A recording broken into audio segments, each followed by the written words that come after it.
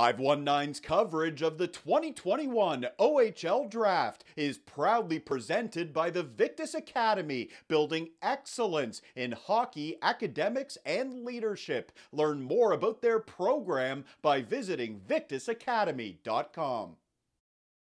It was a dream come true. You know, getting getting picked by my hometown team. Obviously, growing up watching them, spending many hours in that rink.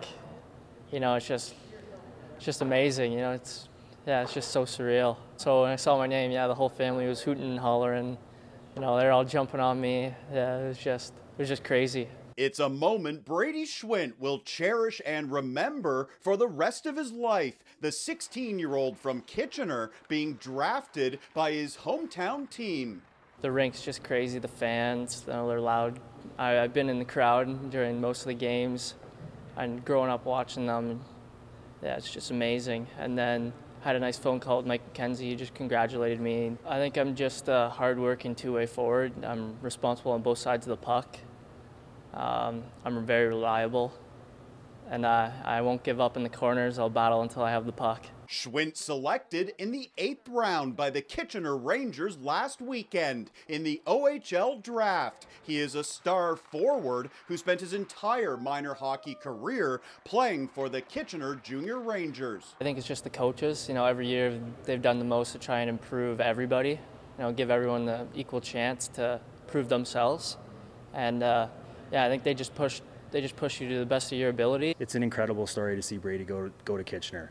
And I know eh, when you think about a hometown kid going to a hometown team, there's a lot of pressure and a lot of stuff that comes with it. But you know what? If you know Brady Schwindt, you know his personality. He's pretty calm, cool, and collective, and I think it's just a perfect fit for him. Schwindt spent the last year as a student athlete at the Victus Academy and has a ton of great things to say about his experience. He's appreciative for the coaches and teachers at Victus, based out of Sports World Arena in Kitchener.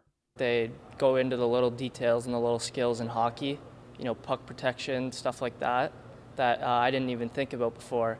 You know, noticing if someone's shooting left or right, and notice if the D has his feet turned one way. Just stuff that I didn't even imagine until I went to the school. Brady is one of the hardest workers at Victus Academy. Continues to work on his game on and off the ice with a great attitude.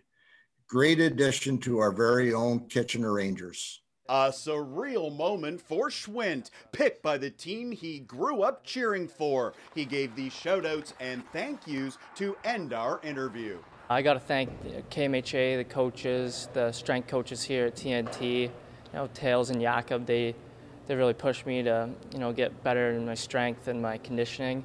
And then my family's been a big part in uh, making me the hockey player that I am today. My two brothers, my grandma. I can't wait to get started with the Rangers. You know, really get prove myself on the ice and show them what I can do.